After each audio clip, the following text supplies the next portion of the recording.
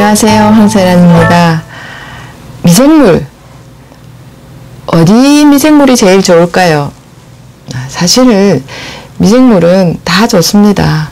그리고 우리가 미생물을 나눌 때 유익균, 사람한테 유익하게 작용하니까 유익균이라고 하고요.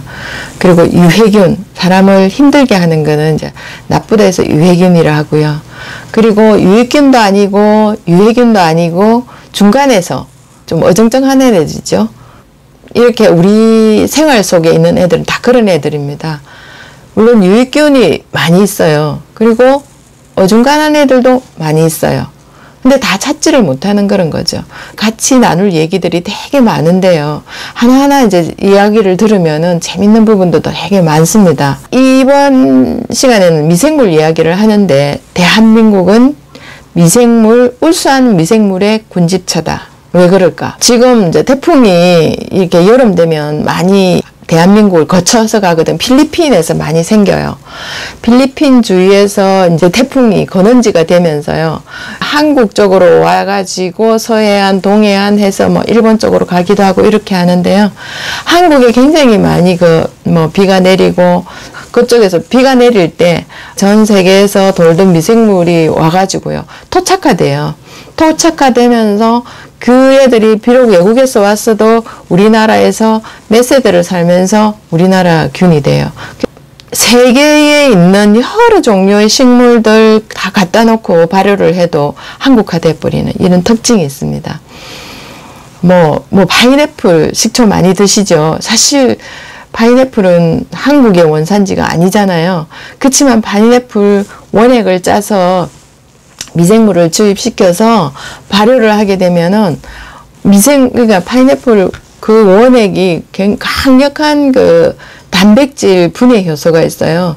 거기다가 식초까지 되니까 얼마나 분해력이 뛰어나겠습니까? 그래서 음식을 먹고 뭐죠 파인애플 식초 그냥 조금만 드셔도요. 그 우리가 먹었던 게 소화가 굉장히 잘 됩니다.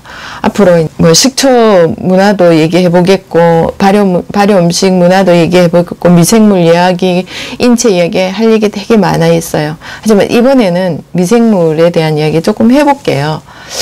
제가 보고 있는 위상자 현미경입니다.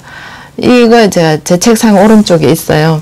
이걸로 가지고 이제 미생물 선생님들이 보내오신 미생물 제가 어, 음식 이렇게 만들고 난 뒤에 이렇게 보는 미생물 여러 가지 뭐 그냥 다 봅니다. 보는데 200배, 400배, 1000배 예. 그리고 이제 우리 혈구 이런 것까지 볼 수가 있는 현미경입니다. 이걸 이제 볼 때요. 어, 저는 이거 가지고 굉장히 기뻤습니다. 도대체 요 안에서 놀고 있는 애들이 어떤 애들일까 굉장히 보고 싶었는데 네, 보니까 속이 시원하더라고요. 근데 미생물도 다양한 성질을 가지고 있어요. 열심히 사는 애, 게으른 애, 부지런하지도 않은 적절한 애 이런 애들이 있는데요.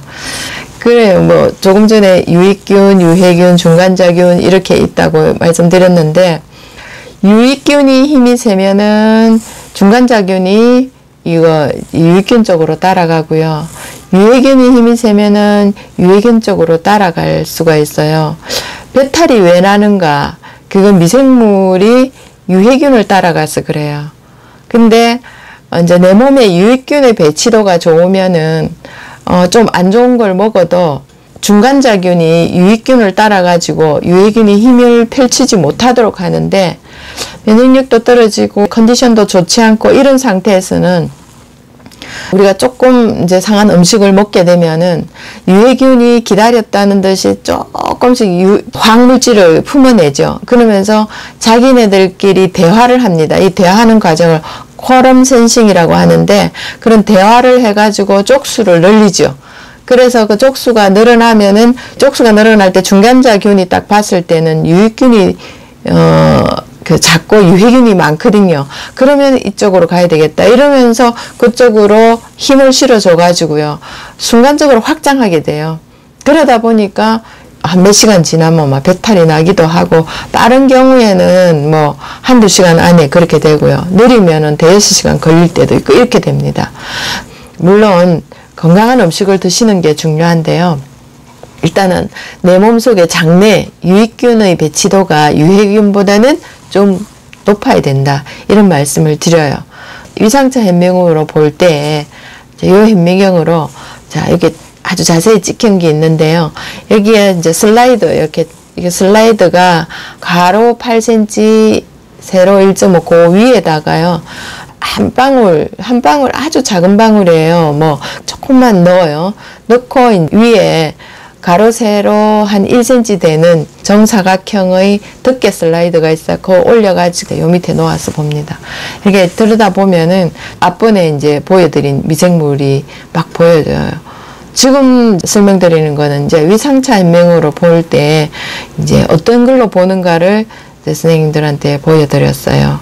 제가 지금 짧게 짧게 강의를 하는데 어, 계속 보고 싶은 거 찾아서 보시면 됩니다. 제가 제목도 올려놓을게요.